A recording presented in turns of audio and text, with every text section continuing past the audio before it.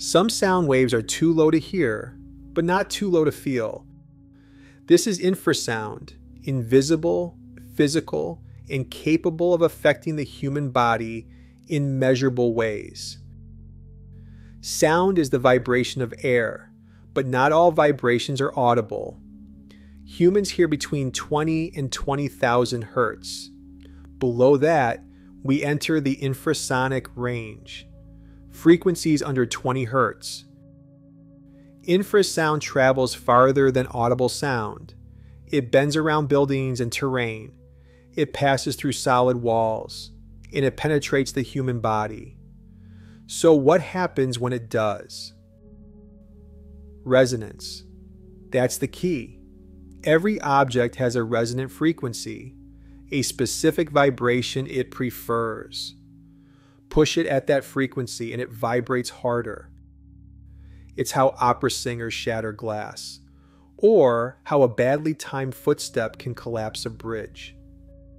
Humans are no exception. Our chest resonates around 60 to 100 hertz, our eyes near 18 hertz, the abdomen closer to 4 to 10 hertz. If infrasound hits these frequencies with enough energy, it can cause nausea, headaches, anxiety, or even disorientation. And the energy doesn't have to be extreme. Sustained exposure to levels above 90 decibels, about the volume of a lawnmower, at infrasonic frequencies can induce discomfort. At 120 decibels, pain and panic are likely. At 140 decibels, infrasound can cause lasting harm. But nature got there first. Elephants emit infrasound as low as 14 hertz. It lets them communicate over distances of 10 kilometers or more. Whales do the same underwater. Volcanoes and earthquakes release it when they shift, and scientists use infrasound detectors to track them. In 2003, researchers at the University of Salford ran a live music experiment. Without telling the audience, they embedded a 17 hertz tone in some of the music. The result? People reported unease, chills, and dizziness more than in the non infrasound sections. They couldn't hear the difference, but their bodies felt it. Then came Havana.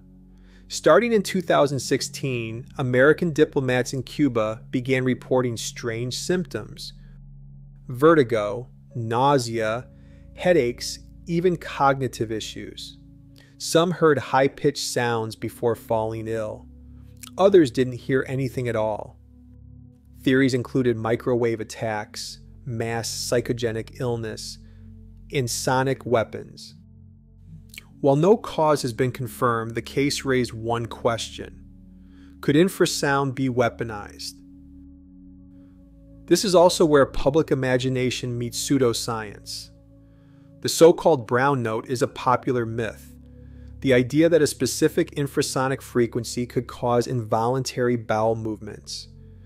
The concept has appeared in television, movies, and online forums, but there is no scientific evidence that such a frequency exists or that sound alone can trigger that kind of physical response.